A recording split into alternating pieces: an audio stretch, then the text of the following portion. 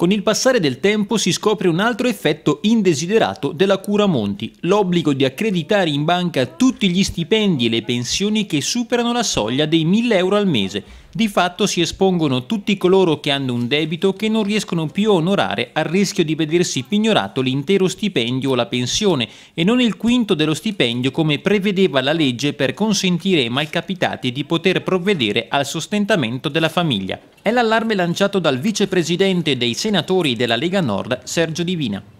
Eh, Monti ha creato quella famosa regola che eh, prevede che i trasferimenti di denaro superiori ai 1000 euro devono essere fatto, fatti con bonifici e in ogni caso accreditati su conti correnti. Il conto corrente non è eh, diciamo, eh, protetto dalle azioni dei eh, creditori. Eh, la mia pensione di 1100 euro potrebbe essere pignorata nel limite del quinto, ma se questi denari, questa pensione mi viene accreditata accreditata sul conto corrente, un creditore può agire totalmente su tutto l'ammontare della mia pensione. Sostanzialmente abbiamo perso le garanzie diciamo, di chi ha molto poco di non vedersi sottratto anche quel poco che è il sostentamento per vivere.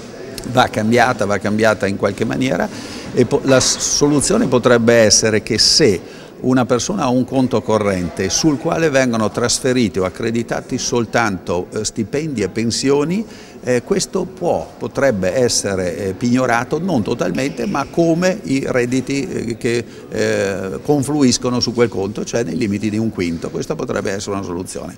Grazie Monti che per, intanto che non troveremo eh, un, diciamo, un, tampone a questa situazione mette, espone tutti i poveracci comunque poveracci indebitati a richieste praticamente a espropri totali dei propri averi.